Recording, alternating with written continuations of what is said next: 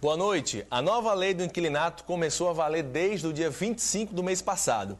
O texto, sancionado em dezembro pelo presidente Luiz Inácio Lula da Silva, tem como objetivo ampliar as garantias do inquilino e também agilizar ações de despejo.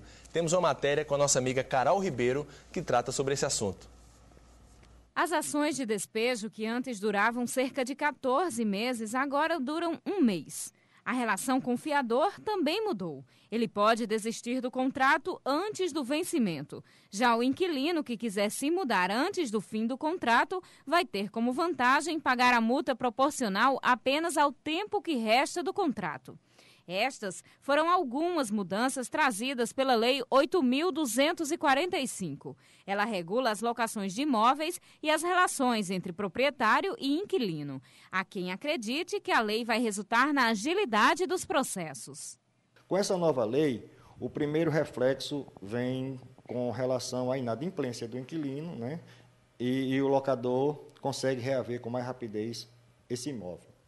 O segundo ponto que eu vejo como benefício para o inquilino, aquele inquilino correto, é a questão da, da grande oferta que vai haver com relação aos imóveis. As alterações na relação de inquilinato trouxeram vantagens para o inquilino, aquele que aluga o imóvel, mas trouxe principalmente para os proprietários, que agora vão ter mais segurança na hora de alugar. A figura do, do, do fiador assim, não, não vai ser tão necessária.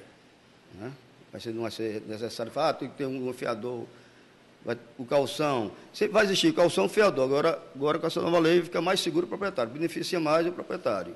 Um possível aumento da oferta de imóveis pode ser que o preço do aluguel caia em Mossoró. Mas os especialistas dizem que só se poderá saber se isso realmente vai acontecer daqui a alguns meses. Nós só vamos ver um reflexo de, de, dessa nova lei a partir do segundo semestre.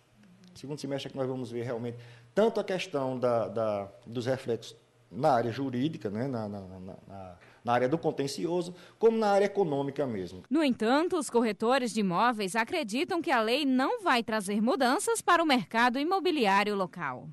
Muda muito não. A gente já a gente praticamente a gente já pratica aqui na nossa Lemões, a gente já faz esse tipo de acordo. Né? A pessoa está com dificuldade de pagar o aluguel, a gente já faz esse tipo de acordo já entra na justiça.